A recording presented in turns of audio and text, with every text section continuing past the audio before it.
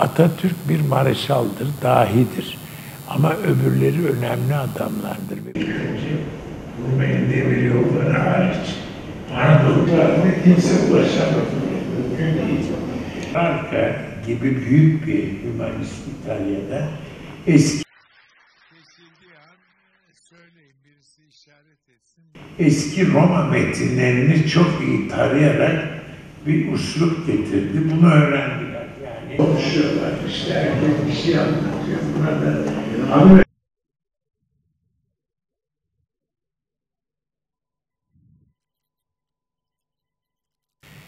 Buradan basmaneden kalkan Fransız tipi bir binalar o binada. Oradan kalkan demir yolu da en önemli istasyon kasaba denirdi. Turgutlu yani şurası. Tabii burası Manisa'ya bağlıdır o. Demir yollarını ve istasyonları şehirlerde istemezler. Daima kenar kıyı bir yerde olur. Oradan şehre yakındır. At arabayla bilmem neyle gider gelirler. Atatürk bir mareşaldır, dahidir. Ama öbürleri önemli adamlardır. Ve bunlar gibi insanlar birinci harpte az bulunur. Bütün orduları arasan az bulunur. Ben size söyleyeyim. İsteyen gitsin baksın. Biraz mukayese yapacaksınız. Bir de bu İngiliz kara ordusu komutanlarının generallerinin hatıralarına bakacaksınız. Birkaç tanedir onlar. Bir memlekette erbabı namus, lakal namussuzlar kadar cesur olmazsa kurtuluş ihtimali yok diyor. Bu laf meşhurdur yani biliyorsunuz. Çok açık. Bu çok önemli bir Size daha cesur olun, sopayı elinize alın demiyorum. Öyle bir şey yok. Ama senin de dilin çıksın yani. Böyle bir şey olabilir mi? Hiçbir şey kullanılmıyor. Hiçbir şey karşı çıkış. Bunun partiyle falan alakası yoktur. Bazı kavramlar, bazı şahıslar mukaddestir.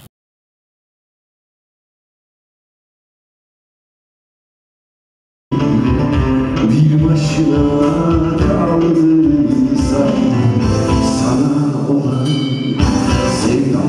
muito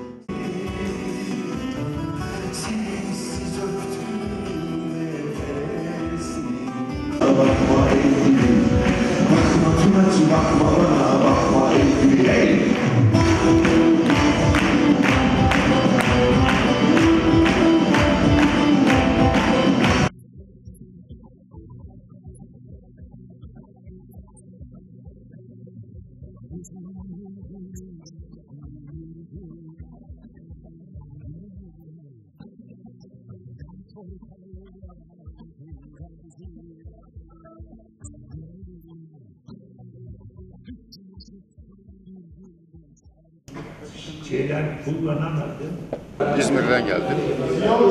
Dün e, şairler buluşmasında e, katıldık e, İkizkule'de. E, ben de e, orada e, 10 Kasım'ın yaklaşmasıyla itibariyle e, Mustafa Kemal şiirini okumuştum.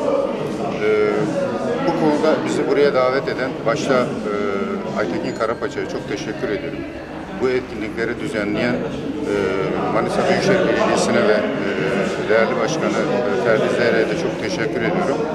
E, güzel bir etkinlikti. E, bugün de işte dediğiniz gibi mesela e, Manisa adeta e, İlber Ortaylı hocamızı bağrına bastı.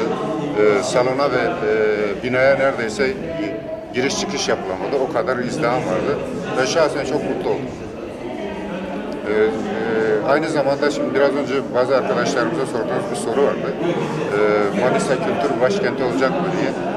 Ee, Manisa özgürlüğüne kavuşuyor yavaş yavaş. Ee, kültür başkenti olmaması için de bir sebep yok. Aa, Azerbaycan e, asıllıyım. Fransa'da yaşıyorum bir süredir.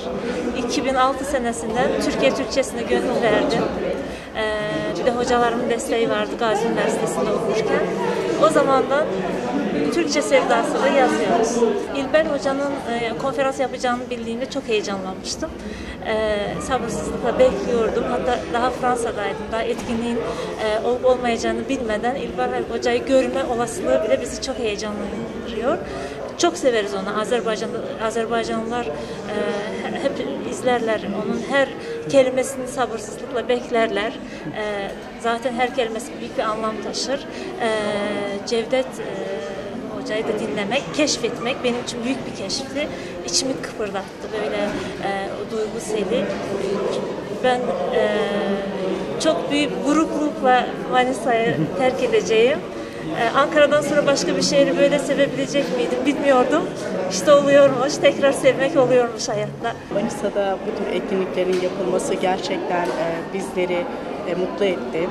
Çok güzel etkinlikler. E, tarihçi e, Dilber Ortaylı'yı dinlemekten büyük keyif aldık. Kültür sanat adına, kültür sanat faaliyetleri adına Manisa'da bu tür etkinliklerin mutlaka mutlaka devamının olmasını istiyoruz. Gerçekten çok güzeldi yani hepsi de güzeldi yani.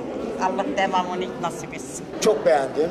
Ee, öncelikle e, dün de bir etkinlik vardı. Ee, şiir e, şiir gecesi vardı dün de. O da çok güzeldi. Bugün İlber hocamız geldi. İlber hocamız da gerçekten doğayan bir tarihçimiz. Onu da çok beğendik. Ardından üzerine Cevdet Bağca harika bir konser. Çok beğendik. Bunların devamını bekliyoruz Büyükşehir'den. Ee, Manisa'yı sanat etkinliklere doyursun istiyoruz.